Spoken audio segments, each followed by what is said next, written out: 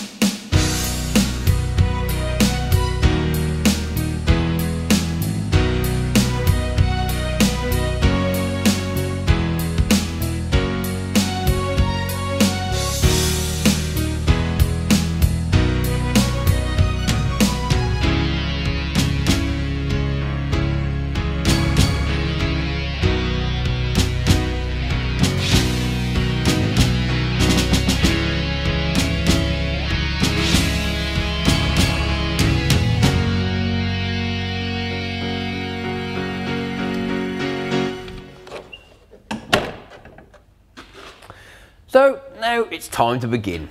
And with John, 77 years young, we thought the first thing we would do is to ask him about some of his earliest farming memories.